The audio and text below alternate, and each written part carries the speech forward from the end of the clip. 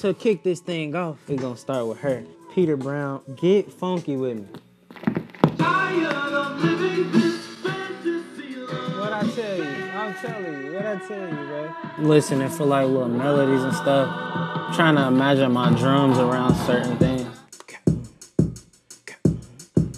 We recorded some claps. We had the custodian come through, and that was an extra hand I needed. So I got some um, hi hats in, another open hi hat, and I got some shakers. Then I got the sample, what I chopped up a little bit.